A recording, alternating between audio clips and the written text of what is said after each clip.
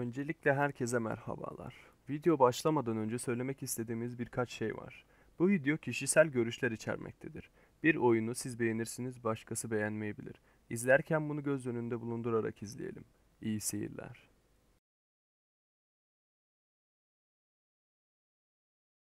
The Forest 2014 yılında çıkmış bir hayatta kalma korku oyunu. Oyun Metacritic'ten 83 skor almış olup çoğu oyuncu tarafından beğenilen bir oyun. Oyun bizi ve oğlumuzu bir yolcu uçağının içinde başlatıyor. Uçakta kısa bir süre sonra bir patlama gerçekleşiyor. Uçak düşmeye başlıyor ve bayılıyoruz. Uyandığımızda uzun bir kişilik oğlumuzu kucaklarına almış götürüyor. Biz nereye götürüyorsun lan çocuğumu demeye kalmadan tekrar bayılıyoruz. Oyundaki amacımız adadaki zorlu koşullara rağmen oğlumuzu yerlilerin elinden almak. Oyunda birçok şeyi craftlayabiliyoruz. Eşyalar, zipline'lar, ödül kafaları hatta büyük odundan malikanelere kadar. Sınır biraz da olsa sizin hayal gücünüz.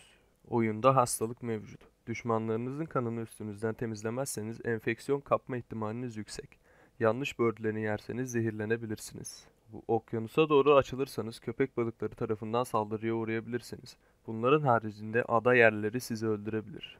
Tabii siz de bu tehlikelere karşı kendinizi korumak için birçok şey yapabilirsiniz. Molotoflardan tutun bombalara kadar. Kısaca hayatta kalma temasını güzel, güzel işlenmiş. Oyunda her an bir gerilim hakim. Yediğiniz içtiğiniz şeylerin sizi her an öldürebilecek olması da oyuna ekstra zorluklar katıyor.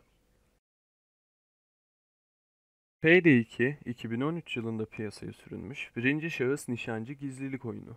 Banka soymanın, polislere binlerce mermi yağdırmanın, milyonlarca dolar çalmanın nasıl bir his olduğunu merak mı ediyorsunuz? İşte bu oyun sizin için biçilmiş kaftan. Oyundaki amacımız türlü türlü soygunlara yakalanmadan veya ölmeden imza atmak. Oyun bize bu soygunlarda başarılı olmamız için dev gibi bir silah cephaneliği sunuyor. Minigunlar, yaylar, taarruz tüfekleri, keskin nişancı tüfekleri ve roket atarlar. Oyunda silah namına her türlü silah bulunmakta. Oyunun silah animasyonları gayet başarılı. Vuruş hissi için orta segmentte diyebiliriz. Seçtiğimiz soygunları yapmak için genelde iki seçeneğimiz var. Bir gizli şekilde, iki bam güm şeklinde. Gizli şekilde yapmayı seçerseniz çoğu zaman güvenlik görevlileri hariç polislerle karşılaşmayacaksınız. Suruculu silahlarınızı alıp görünmeden işinizi halledeceksiniz. Bamgüm tarzını seçerseniz en yüksek sesli silahınızı alın, en ağır zırhınızı giyin ve bankanın ön kapısından içeri girin. Düşmanlar kısmına gelirsek, düşmanlar tamamen polislerden oluşmakta. Kafalarına milyonlarca mermi yağdırdığımız polisler çok çeşitli. Polisler her türden farklı özelliklere sahip. Fakat oyunun eksi bir yanı var. O da çoğu silahın DLC olarak satılması. Çoğu oyuncu için bu büyük bir eksi. Genel olarak oyun nadir başarılı suç oyunlarından biri. Arkadaşlarınız ile polisleri vururken banka soymak hiç bu kadar eğlenceli olmamıştı. We Were Her 2 2018 yılında yayınlanmış bir birinci şahıs puzzle oyunu. Oyun tek kişilik oynanmıyor. Mutlaka yanınızda bir arkadaşınız olması gerekli. We Were Her 2'daki amacımız bize sunulan o zor, orta zorluktaki puzzle'ları takım çalışmasıyla çözmek. Oyundaki arkadaşımız bizi görmüyor. Biz de arkadaşımızı göremiyoruz. Aramızdaki tek iletişim aracı elimizdeki telsizimiz. Oyunda iki oyuncu türü var. 1. Puzzle'ların nasıl çalıştığını anlatan kişi. 2. Puzzle'ları çözen kişi. Puzzle'ların nasıl çalıştığını anlamak biraz zor. İkinci kişinin gördüğü şeyleri birinci kişiye aktarması gerekiyor. Takım çalışması oyundaki en önemli nokta. Puzzle'lar genelde eğlenceli ve hoş. Oyun, takım çalışması ve gördüğünü aktarma yeteneği düşük insanlara biraz zor gelebilir. Oyunun içindeki bölümlerin hoş ve gotik bir tasarımı var. Biz beğendik. Genel olarak oyun hakkında söylenebilecek çok fazla bir şey yok. Spoiler vermemek için puzzle'lar hakkında çok bilgi vermek istemiyoruz. Ama bir puzzle seversiniz ve gizemli, zor, orta derece puzzle'ları seviyorsanız bu oyun sizi ve arkadaşınızı eğlendireceğinizden eminiz. Oyuna bir şans verin. Star ve Together 2016 yılında yayınlanmış bir hayatta kalma aksiyon macera oyunu. Oyundaki amacımız her zamanki gibi hayatta kalmak. Ne de olsa bir hayatta kalma oyunu. Ama bu oyun diğer oyunlardan ayıran özelliği oyundaki çeşitlilik. Karakter seçerken bile 16 seçeneğimiz var. Bu karakterlerin hepsi birbirinden özel. Hiçbiri birbirine benzemiyor. Oyun haritasında türlü türlü düşman canavarlar, bit bitkiler ve dost canlıları bulunmakta. Oyun tam anlamıyla bir dünya hissi veriyor bize. Haritadaki neredeyse her şey ile etkileşime geçebiliyoruz. Yerden toprak kazabiliyor, kazdığımız toprağı veya zemini dünyada istediğimiz herhangi bir yere geçirebiliyoruz. Orman yangınları çıkartabiliyoruz. Yaktığınız ağacın canlı olma olasılığı var ve sinirlenip size saldırabilir. Oyunda akıl sağlığımız da bulunmakta. Geceleri ışıksız yerlerde gezersek akıl sağlığımız saniyeler içinde kayboluyor. Buna dikkat etmek önemli. Açlık da başka bir sıkıntı. Sürekli yemek bulmamız gerek. Oyunda türlü türlü yemek tarifleri var ve bu tariflerde özel.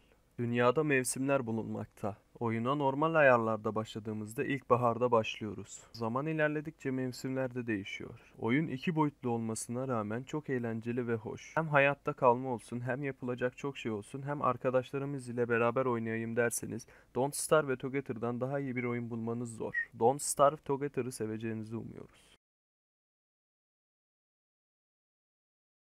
Killing Floor 2 2016 yılında çıkmış birinci şahıs nişancı hayatta kalma korku oyunu.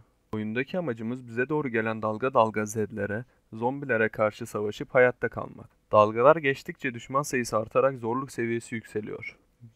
Biz bir zedi öldürdüğümüzde oyun içi ve para deneyimi puanı kazanıyoruz. Kafa vuruşu gibi belirli türlerde öldürmeler yaparsak tüm oyuncular için oyun eylemleri birkaç saniyeliğine yavaşlıyor. Bunun adı da Z zamanı. Z zamanı bize ve takımımıza birkaç saniyeliğine kararlarımızı gözden geçirmemiz için zaman tanıyor. Z'ler bir kez spawn olunca bizim peşimizi bırakmıyorlar. Z'ler bize vurduğunda canımızın bir kısmını kaybediyoruz. Bu kaybı da karakterimiz ile gelen tıbbi şırıngalar ile kapatabiliyoruz. Son dalgada ise bizi bir boss savaşı bekliyor. Bu boss oyundaki 4 boss'tan birinden rastgele seçilmekte. Boss savaşları gayet zor ve takım çalışması istiyor. Killing Floor 2'nin silah animasyonları ve sesleri gayet başarılı. Yapımcı ekibi silahlara çok önem vermiş. Oyunda karakterimizi farklı silah sınıflarına mensup edebiliyoruz. Patlayıcı uzmanı, keskin nişancı, destek tarzında türlü sınıflar mevcut. Her bir sınıfın kendine ait bir silah kategorisi var. Oyunda pompalı tüfekler, taarruz tüfekleri, alev makineleri tarzında türlü türlü akıl almaz silahlar var. Bu silahların vuruş hisleri çok rahatlatıcı. Zedleri vurmak oyunda ayrı bir keyif, zombilerin kafalarını patlatmak çok eğlenceli bir aktivite haline geliyor. Oyunun haritaları genelde dar alanlardan oluşmakta. Yanlış bir koridora girmek ölümünüz ile sonlanabilir. Oyunda bolca kan ve vahşet mevcut. Zombilerin kafasını uçurma, uçurmak etrafı tam anlamıyla kan gölüne çeviriyor. Zedlerin uzuvları kopabiliyor. Sas oyuncuların bu oyunu tercih etmemesi önerilir. Genel olarak zombi kafası patlatmayı seviyorsanız ve bunu arkadaşlarınız ile yapmak istiyorsanız sizin için gayet uygun bir seçim. Bu videoda size 5 oyun önerisi yaptık. Umarım önerileri beğenmişsinizdir. Listedeki oyunları denemenizi şiddetle öneririz. Bir sonraki videoda görüşmek üzere.